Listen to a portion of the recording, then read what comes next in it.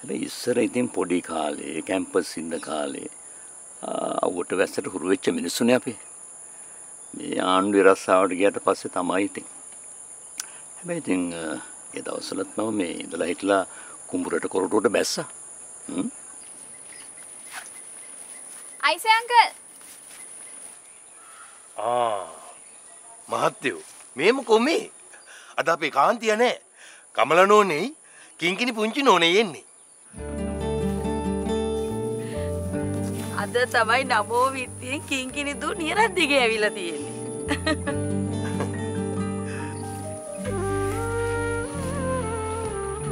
පුංචි නෝන වැටුණද? නෑනේ වැටුණන ඉතින් ඇගේ මඩ ගෑවෙන්න බෑ. මාත් අහන ගොම් ප්‍රශ්න. හැබැයි පුංචි නෝන කිසි දෙයකට බය වෙන්න එපා. යද්දි නම් ආයි වැටෙන්නේ. ආමන්ත? තාම නිදි. මතකනේ ඒ දවස්වල රෑ එක දෙක වෙනකම් පාඩම් කරනවා උදේ ඉර එළිය වෙන්නකන් නිදා ගන්නවා. ඒ කියන්නේ සර්ප්‍රයිස් එක හැගෙන්නේ තාම නෑ මහත්තයා.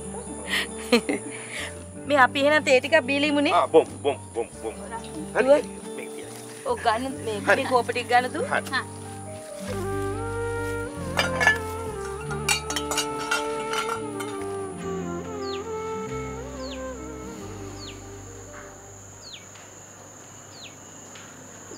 පුංචි මහත්තයා ආ තේ කෝකාන්තියන්ට අම්මා කුඹරට ගියා. කුඹුරු වැඩට? අපේ තාත්තත් එක්ක. අපි නෝන කවද්ද මහත්තයෝ කුඹුරකට බැස්සේ? එහෙනම් මහත්තයාට තේ අරගෙන 10ට විතර ගියේ. වෙනදට තේ අරගෙන ඉන්නේ කාන්ති ආන්ටි නැත්තම් අයිස් අංකල් මෙහෙට ඇවිල්ලා තේ අරගෙන යනවා. පුංචි මහත්තයා රට ගියාට පස්සේ ඒ පිළිවෙල වෙනස් වුණා. මේ ගෙදර වෙන මොනවද වෙනස් වුනේ? ඇයි පුංචි මහත්තයාට තව වෙනස් වෙච්ච මුකුත් පේනවද? හ්ම්. සමහර දේවල්.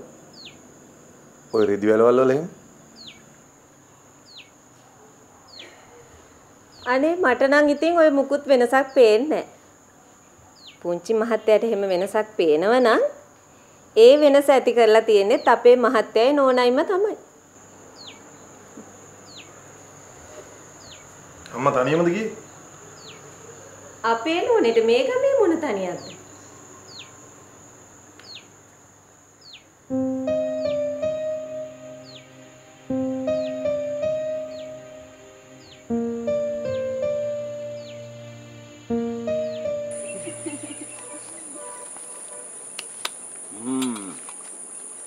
අග්ගල නම් හරිම රහයි. හ්ම්. පුතාසයිනේ. හැබැයි මම නම් නෙවෙයි හැදුවේ කාන්ති. ආ. අපේ කාන්තිය. මොහොකට හරි ආයි අත තිබ්බොත් රහ නෙවෙයි අතිරහ අතිරහ. කාටද ආඩම්බර? ඇත්තටම කාටද ආඩම්බරයි අංකල් වෙන කාටද පුංචි නෝනේ? අපේ කාන්තියට මිසක්. නැතු ඉතින් කාන්තියාගේ ආඩම්බරකම මම ගන්නේ. හැබැයි ඉතින් ඇත්තම කියනවා නම් අයිසටත් ආඩම්බරයි. හරියට හරි හරියට හරි. ලොකු මාත්‍යට තේරුණා. මටත් ආඩම්බරයි. මටත් ආඩම්බරයි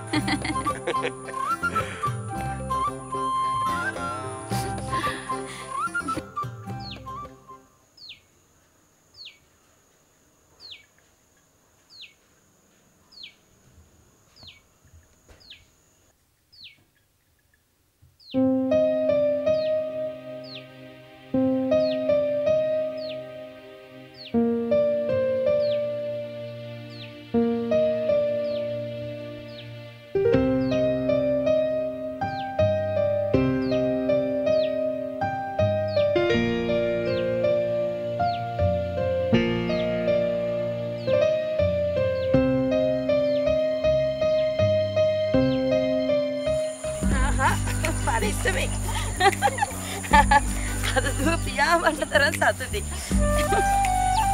Dari sini yang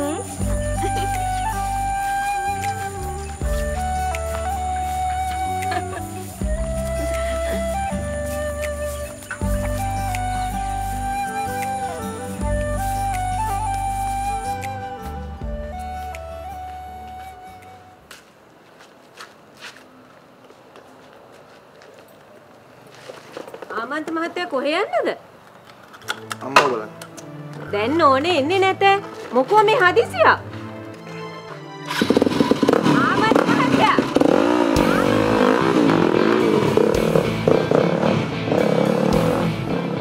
අනේ මන් දන්නේ. හරියට බයිසිකලේ යන්නේ නිකන් කුඹුරේ නියර යන්න වගේනේ.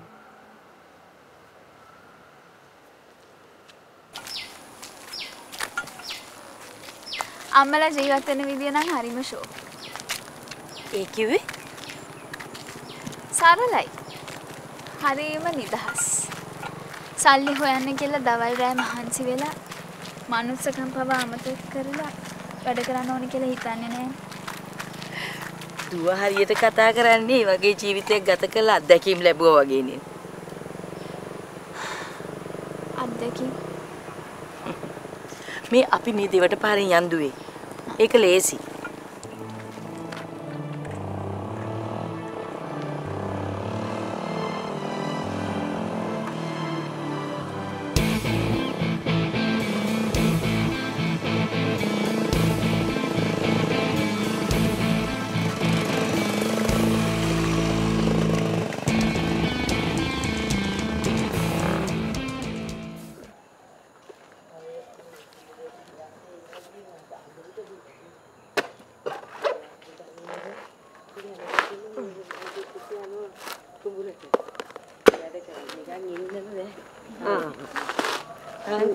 නෝනලා දෙවටින් ආවද? ඕ ඒ පැත්ත ලේසිනේ කාන්තේ. කෝ පුතා ඔන්න නැගිට්ටා තේ බිව්වා බයිසිකලේට නැග්ගා ගියා. ඒ කොහෙද? නෝනාව බලන්න යනවා කිව්වේ? මාව බලන්න. හිටියනම් මං ගෙදර එනවනේ. නෝනාව බලන්න යනවා කිව්වට මට නම් තේරෙන්නේ පුංචි මහත්තයාගේ හිතේ ලොකු ප්‍රශ්නයක් තිබුණා. මෙහි රෙදිවැල් වල වෙනසක් විලාලු. ආනේ රෙදි වැලේ තිබුණේ මගේ ඇඳුන්නේ. එහෙනම් ඊයේ රෑ තාත්තා විහිළුවට වගේ කියපු සර්ප්‍රයිස් එක වැඩ කරනවා වගේ.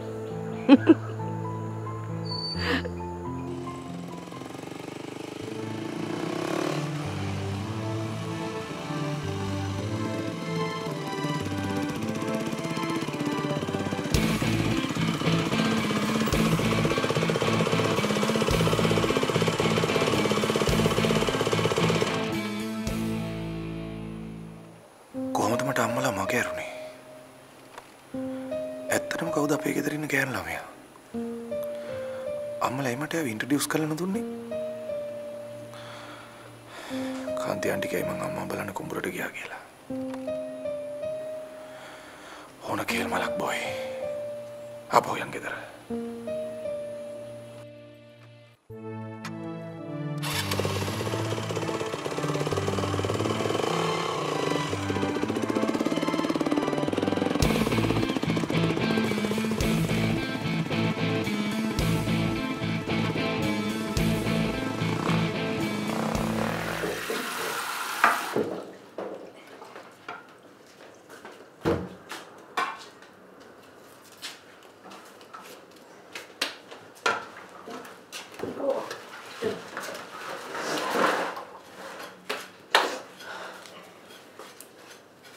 මේ දරුවා උදේටවත් කාලා නැතුවනි කාන්තියෝ ගිහින් තියෙන්නේ.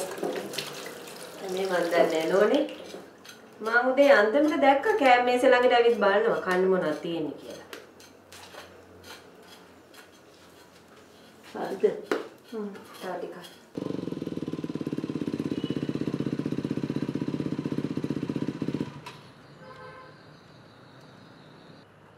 Right boy. Soundproof.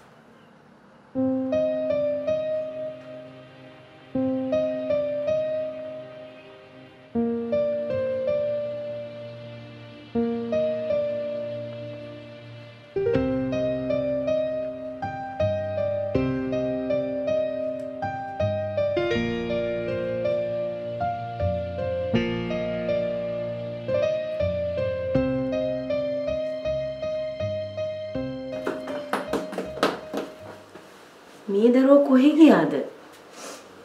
එනකොට බයිසිකලේ සද්දේ ඇහෙවිනේ. ඒ ඉතින් එනකොටනේ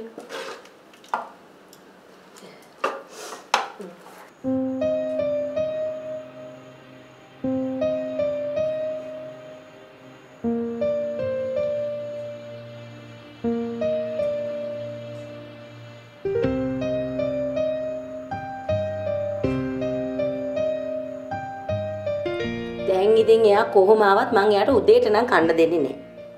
දවල්ටම කන්න කියනවා.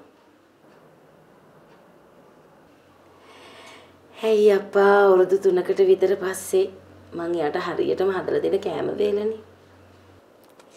බඩගිනි කන්නම ඕන කිව්වොත් අපි අග්ගලාවක්වත් දෙමු නෝනේ. අග්ගලාවක් එකක් කාලා නවතියද කියන එක තමයි ප්‍රශ්නේ. දන්නවනේ ඉතින් එයා අග්ගල කන්න ගියාම හරිම කවුද? පුතාද? කොහොමද ඔයාගේ සයිකලේ එන සද්ද ඇහුන්නේ නැහනේ? අතරින් ළමයෝ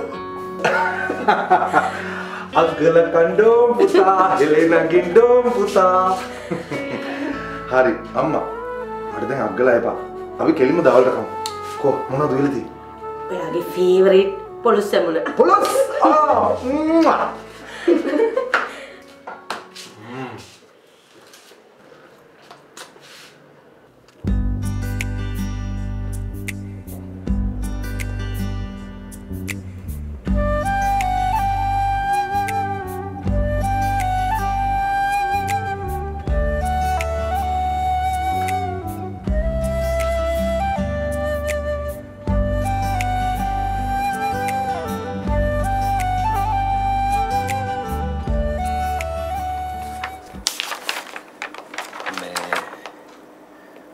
ප්‍රියන්ත කවද්ද කොළඹ යන්නේ?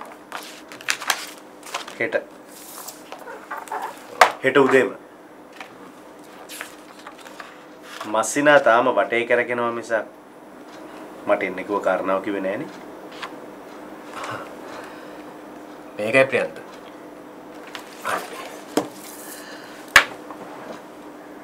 මට මට කෙනෙක්ව හොයාගන්න ඕනේ. මම හිතන විදිහට ඒ කෙනා ඉන්නේ එක් කොළඹ එහෙම නැත්නම් කොළඹවට.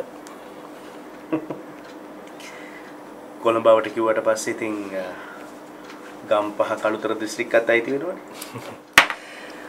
ඔව් සමහර විට මෙහෙමයි. මම ප්‍රියන්තට මෑන්ස් කෙනෙක් ගැන කියන්නම්. හ්ම්?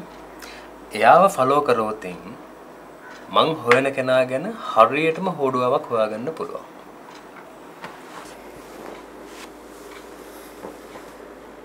මන් දන්න කෙනෙක්ද සමහර විට නංගි ප්‍රියන්තට මේ නම කියලත් ඇති. හැබැයි ඉතින් ප්‍රියන්ත කවදාකවත් එයාව දැකලා නැතුව ඇති. මස්සිනාලගේ නෑයෙක් නම් ඉතින් මන් දකින්න විදියක් නෑනේ මොකෝ ඉශංකගේ පප්පා අපිට යාගේ මරණයටවත් එන්න බැරි තාලනේ තහනම් නීති දාලා තිබ්බේ. ඒ දවස්වල ඉතින් මස්සිනාලා වුණත් දැන් ඉතින් ඕව කතා කළ වැඩක් නැහැනේ ප්‍රියන්ත. හරි. මං කවුද හොයන්න ඕනේ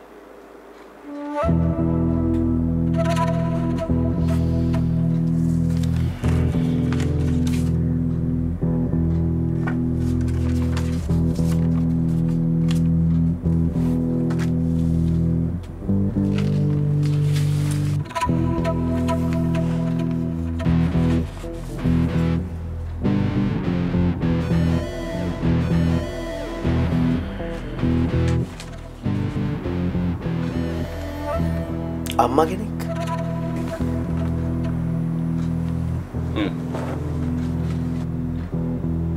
දරුවා දරුවා ඉතින් වෙන කාගේද? එයාගේම තමයි.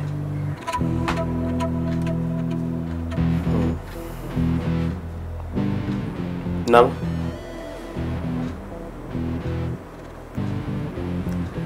කිංකිරි.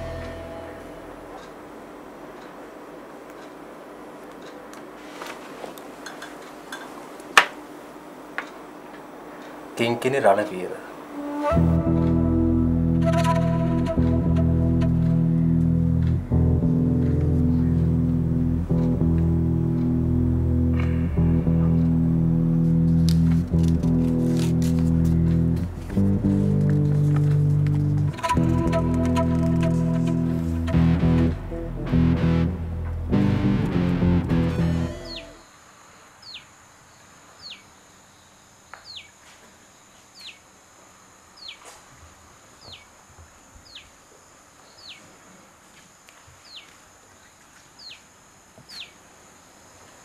පුතා. අමන්ත. සරි වඩින්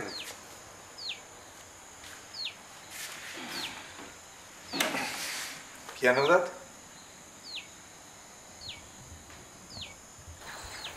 දැන් පුතා ඇවිල්ලා දවස් කීපෙකුත් ගත වුණානේ. තාත්තා කෙනෙක් හැටියට මට යුතුයකමක් තියෙනවා මේ ගැන අහන්න. ඒත් මම කැමති නෑ දරුවෙක්ගේ වුණත් ස්වාධීනත්වයට බාධා කරන්න. දැන් මොනවද අනාගතයට කරන්න බලාපොරොත්තු වෙන්නේ? මං තාම මේ ගැන හිතුවේ නෑ තාත්